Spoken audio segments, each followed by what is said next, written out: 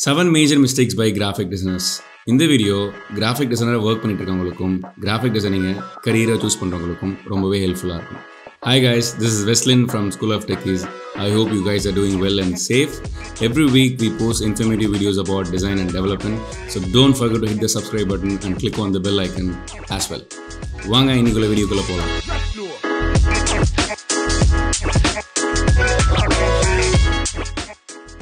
Already graphic டிசைனராக work பண்ணிட்டு இருக்கவங்களுக்கு ரொம்பவே ஆச்சரியமாக இருக்கலாம்.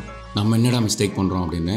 ஸோ இந்த ஏழு மிஸ்டேக் என்னன்றதை நான் உங்களுக்கு சொல்கிறேன் not understanding client requirement setting up wrong design project work flow bad presentation not taking feedbacks and constructive criticism not up to date with design trends around you creating bad resume and portfolio இந்த seven major mistakes தான் இன்றைக்கி நம்ம discuss பண்ண போகிறோம் வாங்க.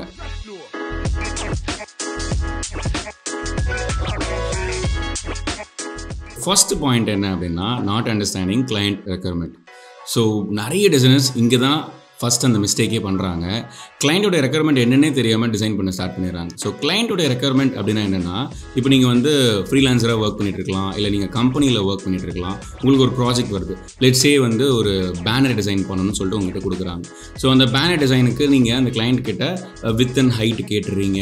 So என்னென்ன information சொல்லிட்டு நீங்கள் கேட்கணும். ஸோ நிறைய பேர் இந்த மாதிரியான கொஷின்ஸ் எல்லாம் கிளைண்ட் கிட்ட கேட்கறது கிடையாது. மேபி உங்களுக்கு இந்த மாதிரியான சுச்சுவேஷன் அமையாமல் கூட இருக்கலாம். பட் மேக்ஸிமம் நீங்கள் உங்கள் கிளைண்ட் அப்ரோச் பண்ணி அவங்க எதுக்காக இந்த பேனர் கேட்குறாங்க ஸோ எந்த இடத்துல அந்த பேனர் ஃபிக்ஸ் பண்ண போகிறாங்க இந்த மாதிரி இன்ஃபர்மேஷன்லாம் நீங்கள் கேட்டு தெரிஞ்சுக்கிட்டிங்கன்னா அதுக்கு ஏற்ற மாதிரி நீங்கள் டிசைன் பண்ணலாம். ஸோ வித்தவுட் அண்டர்ஸ்டாண்டிங் அந்த ப்ராஜெக்டோடைய ரெக்குயர்மெண்ட் பற்றி நீங்கள் தெரியாமல் அந்த டிசைன் ப்ராஜெக்ட்டில் ஸ்டார்ட் பண்ணுறதுல எந்த பாயிண்ட்டுமே கிடையாது. ஏன் அப்படின்னா முக்கியமான விஷயம் ஸோ நம்ம டிசைன் பண்ணுறது கிளைண்ட்டுக்காக கிடையாது. யூசர்ஸ்க்காக தான். இப்போ அந்த ஆப்வியஸ்லி அந்த கிளைண்ட்ன்றவங்க வந்து பிராண்ட் பர்சனாக இருக்கலாம். அவங்க பிராண்டை ப்ரொமோட் பண்ணுறதுக்காக அந்த டிசைன் உங்ககிட்ட கேட்டிருப்பாங்க. ஸோ அந்த டிசைன் எந்த மாதிரியான டார்கெட் ஆடியன்ஸ் பார்க்க போகிறாங்க லெட்ஸே இப்போ அந்த பேனர் டிசைன் வந்து ஒரு ஸ்போர்ட்ஸ் ஷாப்புக்கு ஒரு ஷூ ஆட் கொடுக்க போகிறாங்க இல்லைனா வந்து அதே அந்த ஸ்போர்ட்ஸ் ஷாப்பில் இருக்க வேறு ஏதாச்சும் ஒரு ப்ராடக்டை அவங்க ப்ரொமோட் பண்ண போகிறாங்க அப்படின்னா ஸோ அத்லெட்ஸ் அப்புறம் ஸ்போர்ட்ஸ் லவர்ஸ் ஸோ அந்த மாதிரி யங் ஆடியன்ஸை நீங்கள் அட்ராக்ட் பண்ணணும் நீங்கள் அதை தெரிஞ்சுக்கிட்டு அதுக்கேற்ற மாதிரி நீங்கள் டிசைன் பண்ணணும். ஸோ இப்போ உங்களுக்கு புரிஞ்சிருக்கும்னு நினைக்கிறேன். So why client requirement is very very important அப்படின்றது. ஸோ இந்த ரெக்யர்மெண்ட் தெரியாமல் நம்ம டிசைன் பண்ணும்போது தான் ஸோ நம்ம டிசைனில் வந்து ப்ராப்பரான கலர் சூஸ் பண்ண மாட்டோம் ப்ராப்பரான ஃபாண்ட் சூஸ் பண்ண மாட்டோம். அந்த பேனர் பிரிண்ட் ஆயிடுது அப்படின்னா ஸோ அந்த பேனரை பார்த்து அந்த பிராண்டுக்கு என்கொயரிஸ் போகணும். அந்த பேனரை பார்த்து யாராவது ஒருத்தர் போய் ஷூ வாங்கணும் இல்லை அந்த ப்ராடக்ட்டை போய் வாங்கினா தான் ஸோ அங்கே தான் உங்களோட real success so first point is very very important not understanding the client requirement அதை இனிமேல் என்ன பண்ணுங்க? So understand your client requirements second mistake என்ன அப்படின்னு பார்த்துக்கிட்டிங்கன்னா ஸோ டெக்னிக்கல் இஷ்யூஸ் தான் பண்ணுறோம் நம்ம. என்ன அப்படின்னா இப்போது நம்ம யூஸ் பண்ணுற applications like Photoshop Illustrator InDesign கொரோ எந்த அப்ளிகேஷன் எடுத்தாலுமே அதில் நம்ம கரெக்டான டைமென்ஷன் கொடுக்கணும் கரெக்டான கலர் மோட் கொடுக்கணும். இந்த கலர் மோட் சூஸ் பண்ணும்போது தான் நிறைய பேர் ப்ராப்ளம் பண்ணுறாங்க எதில் அப்படின்னு பார்த்துக்கிட்டிங்கன்னா இப்போ ஒரு ப்ராஜெக்ட் வந்து பிரிண்ட்டுக்காக நீங்கள் பண்ண போகிறீங்கன்னா ஆப்வியஸ்லி நீங்கள் சிஎம்ஒய்கே அப்படின்ற கலர் மோட் நீங்கள் சூஸ் பண்ண போகிறீங்க அண்ட் தென் டிஜிட்டலாக ஏதாச்சும் நீங்கள் ஒரு டிசைன் பண்ண போகிறீங்க அதாவது சோஷியல் மீடியாக்காகவோ இல்லை யூடியூப் தம்னேலோ இல்லை வெப்சைட்டுக்காக ஏதாச்சும் நீங்கள் ஒரு டிசைன் பண்ண போகிறீங்கன்னா அங்கே நீங்கள் ஆர்ஜிபி நீங்கள் கொடுக்கணும்.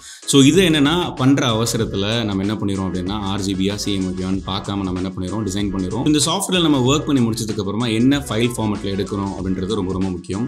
ஸோ இதே நீங்கள் வந்து சோஷியல் மீடியாக்காக நீங்கள் கொடுக்க போகிறீங்க அப்படின்னா அதில் நீங்கள் வந்து ஜேபிஇஜியில் கொடுக்கலாம். கிஃப்ட் ஃபார்மேட்டில் கொடுக்கலாம் அதுக்கடுத்து பிஎன்ஜின்ற ஃபார்மேட்டில் நீங்கள் கொடுக்கலாம்.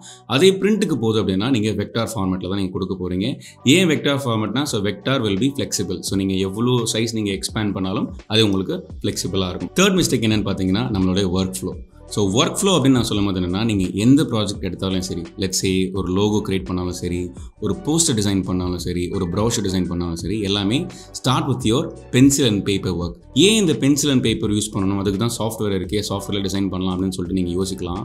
பட் நீங்கள் ஒரு ப்ராஜெக்ட் ஸ்டார்ட் பண்ணும்போது அதை பற்றி ரிசர்ச் பண்ணி அதை பற்றின இன்ஃபர்மேஷன்ஸை கேதர் பண்ணி அதுக்கு ஒரு சின்ன ஒரு ஒயர் ஃப்ரேம் பண்ணி பேசிக்கான ஒரு டிசைன் பண்ணி நீங்கள் கிளைண்ட்டு கிட்ட ஃபஸ்ட்டு அப்ரூவல் வாங்கினதுக்கப்புறமா நீங்கள் என்ன பண்ணலாம்? உங்களுடைய ஃபைனல் டிசைனை ஸ்டார்ட் பண்ணலாம். பட் எந்த ஒரு அப்ரூவல் இல்லாமல் எந்த ஒரு ஒயர் ஃப்ரேம் எந்த ஒரு ரிசர்ச்சுமே இல்லாமல் நீங்கள் சாஃப்ட்வேரில் உங்கள் டிசைன் பண்ணிவிட்டு நீங்கள் கிளைண்ட்டு கிட்ட அப்ரோச் பண்ணும்போது என்ன ஆகும்னா மேபி அந்த கிளைண்ட் வந்து சாட்டிஸ்ஃபைடாக இருக்க மாட்டாங்க இல்லை வேறு ஏதாவது சேஞ்சஸ் சொல்லுவாங்க. அந்த ஒர்க் நீங்கள் டூ டேஸ் ஒர்க் பண்ணிக்கலாம் இல்லை வந்து நீங்கள் சிக்ஸ் ஹவர்ஸ் தொடர்ந்து நீங்கள் ஒர்க் பண்ணியிருக்கலாம்.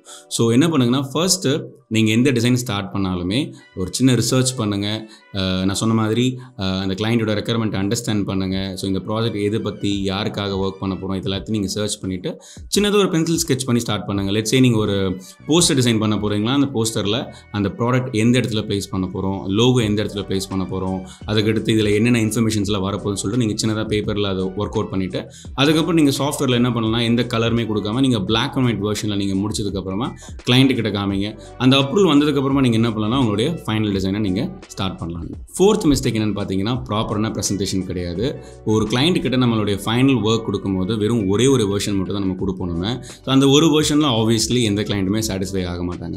ஸோ அந்த மாதிரி டைமில் நம்ம என்ன பண்ணலாம்னா ஸோ ரெண்டு வெர்ஷன் இல்லைனா மூணு வெர்ஷன் ஆஃப் ஒர்க்ஸ் கொடுக்கலாம். ஃபார் எக்ஸாம்பிள் நீங்கள் ஒரு லோகோ டிசைன் பண்ணும்போது ஒரே ஒரு லோகோ நீங்கள் கொடுக்க மாட்டீங்க. ஃபஸ்ட் நீங்கள் என்ன பண்ணுவீங்க லோகோ வந்து அப்ரூவ் ஆகிறதுக்கு ஒரு நாலஞ்சு சாம்பிள்ஸ் காமிப்பீங்களா அதே மாதிரி தான் இப்போ நீங்கள் ஒரு ப்ரௌஷர் டிசைன் பண்ணுறீங்கன்னா அந்த ப்ரௌஷரில் ரெண்டு மூணு வெர்ஷன்ஸ் நீங்கள் காமிக்கலாம்.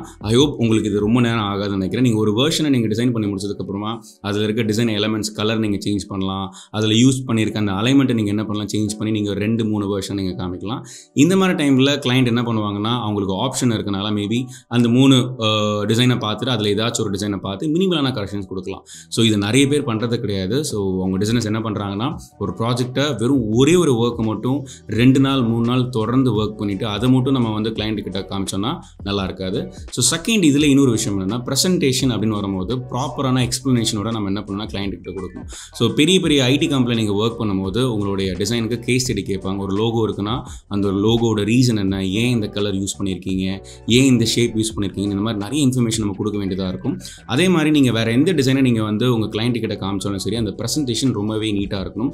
ஃபார் எக்ஸாம்பிள் நீங்கள் பிஹேண்ட்ஸ் பின்ட்ரெஸ் இந்த மாதிரியான மீடியமில் வந்து நீங்கள் டிசைனர்ஸோட ஒர்க்ஸ் எல்லாம் பார்ப்பீங்க. அந்த டிசைனர்ஸோட ஒர்க்ஸ் எல்லாமே ரொம்பவே அழகாக இருக்கும் because of the neat presentation so next time நீங்கள் உங்கள் ப்ராஜெக்ட்டை சப்மிட் பண்ணும்போது ஒரு ஒர்க்கை சப்மிட் பண்ணாமல் ரெண்டு மூணு ஆப்ஷன்ஸோடு நீங்கள் என்ன பண்ணுங்கள் சப்மிட் பண்ணிக்கலாம். It will be very easy so உங்களுடைய கரெக்ஷன்ஸும் கம்மியாகும். ஸோ நிறைய டிசைனர்ஸ்க்கு வந்து ப்ராப்ளம் என்னென்னா வந்து கரெக்ஷன் சொன்னோன்னே நம்ம எல்லாருமே வந்து பயந்துருவோம் நம்ம ஸோ அதனால் என்ன பண்ணுங்க நெக்ஸ்ட் டைம் நீங்கள் உங்கள் டிசைனை கொடுக்கும்போது ஒரு ரெண்டு மூணு வெர்ஷன்ஸோட நீங்கள் டிசைனை கொடுத்தீங்கன்னா it will be easy for yourself and also client pick பண்ணுறதுக்கும் ஈஸியாக இருக்கும். ஃபிஃப்த் மிஸ்டேக் என்னென்னு பார்த்துக்கிட்டிங்கன்னா not accepting feedbacks and constructive criticism இந்த விஷயம் எல்லா டிசைனர்ஸ்க்கும் இருக்கும் தான் எனக்கும் ஸ்டார்டிங்கில் இருந்துச்சு. என்ன அப்படின்னா நம்ம டிசைனை பார்த்து யாராச்சும் குறை சொல்கிறாங்க அப்படின்னா நம்மளுக்கு அது ஏற்றுக்கவே மனசு வராது. பட் நீங்கள் வந்து எக்ஸ்பீரியன்ஸ் ஆக ஆக உங்களுக்கு தெரியும் அந்த ஃபீட்பேக்ஸில் எந்த ஃபீட்பேக் ரொம்ப யூஸ்ஃபுல்லாக இருக்கும் அந்த ஃபீட்பேக்ஸ் நீங்கள் எடுத்துக்கலாம். அதனால் என்ன பண்ணுங்கன்னா ஸோ பி ஓப்பன் உங்களுக்கு வர ஃபீட்பேக்ஸ் அண்ட் கிரிட்டிசிசம் நீங்கள் என்ன பண்ணுங்கள் உங்கள் டிசைனுக்காக எடுத்துக்க போகிறீங்க அது உங்களுக்காக நீங்கள் எடுத்துக்காதீங்க. ஸோ நம்ம டிசைனை பார்த்து இவங்க எப்படி நம்மளுக்கு இந்த டிசைனுக்கு வந்து ரிவ்யூ கொடுக்குறாங்க எப்படி ஃபீட்பேக் கொடுக்குறாங்கன்னு சொல்லிட்டு நம்ம ஃபீல் பண்ணலாம். பட் அங்கேருந்து வர வேலிடான ஃபீட்பேக்ஸை நம்ம என்ன பண்ணலாம் எடுத்துக்கலாம். பிகாஸ் ஆஃப்டர் ஆல் நம்ம பண்ணுற டிசைன் எல்லாமே லேமேனுக்கு போய் தான் சேரணும். ஸோ அந்த லேமேனுக்கு புரிகிற மாதிரி நம்ம டிசைன் பண்ணோம்னா ஸோ அவங்ககிட்டேருந்து வர ஃபீட்பேக்கை நம்ம எடுத்துக்கலாம் நம்ம அதே மாதிரி உங்கள் சீனியர்ஸ் உங்களுடைய டிசைனிங் இண்டஸ்ட்ரியில் இருக்கிற சீனியர்ஸ் கிட்ட நீங்கள் ஒரு டிசைனை வந்து உங்கள் கிளைண்ட்டு கிட்ட நீங்கள் சப்மிட் பண்ணுறதுக்கு முன்னாடி ஃபைனலாக நீங்கள் கொடுக்குறதுக்கு முன்னாடி உங்கள் கலீக்ஸ் கிட்ட நீங்கள் என்ன பண்ணலாம்னா அந்த ஒர்க்ஸை நீங்கள் ஷோகேஸ் பண்ணலாம். அவங்க என்ன பண்ணலாம்? ஏதாச்சும் ஒரு பாயிண்ட் சொல்லலாம். இப்போ நான் கூட பார்த்தீங்கன்னா ஏதாச்சும் டிசைன் பண்ணி என்னுடைய ஃப்ரெண்ட்ஸ் கிட்ட நான் ஷேர் பண்ணும்போது அவங்க என்ன பண்ணுவாங்கன்னா என்ன இது டெக்ஸ்ட் வந்து இது தெரிய மாட்டேங்குது இந்த பேக்ரவுண்ட் கலர் நல்லா இருக்க மாட்டேங்குது அந்த மாதிரி ஃபீட்பேக் சொல்லுவாங்க. ஸோ அந்த இடத்துல you can have a chance to change your designs so இந்த ஃபீட்பேக்ஸ் அண்ட் கிரிட்டிசிசமை வந்து நீங்கள் என்ன என்ன நினச்சிக்காதீங்கன்னா வந்து நீங்கள் வந்து பேடாக எடுத்துக்காதீங்க. வர ஃபீட்பேக்ஸ் அண்ட் கிரிட்டிசிசம் நீங்கள் என்ன பண்ணிக்கோங்கன்னா பாசிட்டிவாக எடுத்துக்கோங்க நீங்கள் பண்ணுற டிசைனில் நம்மளே காம்ப்ரமைஸ் பண்ணிக்கிறோம். நான் அதுதான் அடிக்கடி நான் சொல்கிறது என்னன்னா நம்ம பண்ணுற டிசைன் வந்து கிளைண்ட்டுக்காக கிடையாது லேமேனுக்காக ஸோ லேமேனுக்கு புரியுற மாதிரி இருக்கணும்னா அவங்க கிட்டேருந்து சில ஃபீட்பேக்ஸ் இருக்கிறது ரொம்பவே நல்ல விஷயம். சிக்ஸ்த் மிஸ்டேக் என்னென்னு பார்த்துக்கிட்டிங்கன்னா no updates in design trends design ட்ரெண்ட்ஸ்னு சொல்லும் போது உங்களுக்கு ஒரு எக்ஸாம்பிள் சொல்கிறேன் நான். Just look at yourself so ten years back நம்ம எந்த மாதிரி ட்ரெஸ் வியர் பண்ணிட்டு இருந்தோம்? இப்போ நம்ம என்ன மாதிரி ட்ரெஸ் வியர் பண்ணிட்டு இருக்கோம்? புரியலையா? ஒரு ten or fifteen years back websites எல்லாம் எப்படி இருந்துச்சு? கலர்ஃபுல்லாகவே இருந்திருக்காது. எல்லாமே டைப்போகிராஃபி ஒன்றிட தான் உங்களுக்கு இருந்திருக்கும். இப்போ இருக்கிற வெப்சைட் பார்த்தீங்கன்னா ரொம்ப கலர்ஃபுல்லாக இருக்கும். நிறைய விஷயங்கள் வந்துருச்சு. ஐக்கன்ஸ் வந்துருச்சு அனிமேஷன்ஸ் வந்துருச்சு பேரலாக்ஸ் அனிமேஷன்ஸ் வந்துருச்சு. இந்த மாதிரி நிறைய விஷயங்கள் இருக்குது ஸோ டிசைனர் பொறுத்த வரைக்கும் நம்மளை சுற்றி என்ன மாதிரியான ட்ரெண்ட்ஸ் எல்லாம் இருக்கோ அது எல்லாத்தையும் நம்ம வந்து கூர்ந்து கவனிச்சிட்டே இருக்கணும். பிகாஸ் அந்த மாதிரியான விஷயங்கள் எல்லாமே நம்ம டிசைனிங்கில் இம்ப்ளிமெண்ட் பண்ண பார்க்கணும்.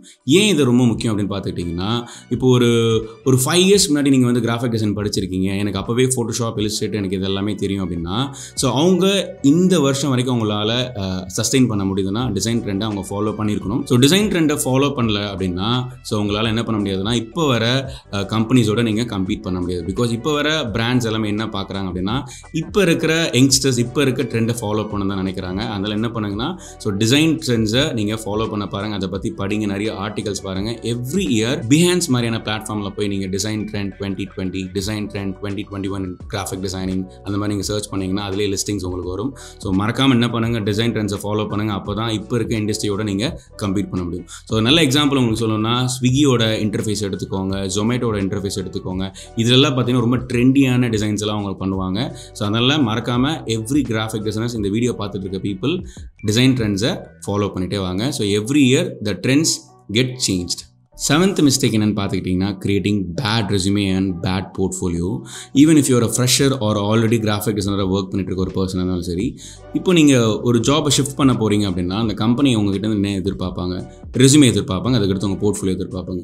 இது நிறைய பேர் வந்து இதுக்கு இம்பார்ட்டன்ஸே கொடுக்குறதே கிடையாது. ஏன் அப்படின்னா நீங்கள் இன்டர்நெட்லேருந்து ஏதாச்சும் ஒரு டெம்ப்ளேட்டை நீங்கள் பார்த்து என்ன பண்ணுவீங்க அதிலே நீங்கள் டெக்ஸ்ட் எல்லாம் நீங்கள் டைப் பண்ணி நீங்கள் கொடுத்துருவீங்க. ஸோ அதில் பெரிய விஷயமே இருக்காது. ஸோ சில பேர் என்ன பண்ணுவாங்கன்னா நீங்களே ஓனாக ரெஸ்யூம் கிரியேட் பண்ணலாம் சொல்லி கிரியேட் பண்ணுவீங்க.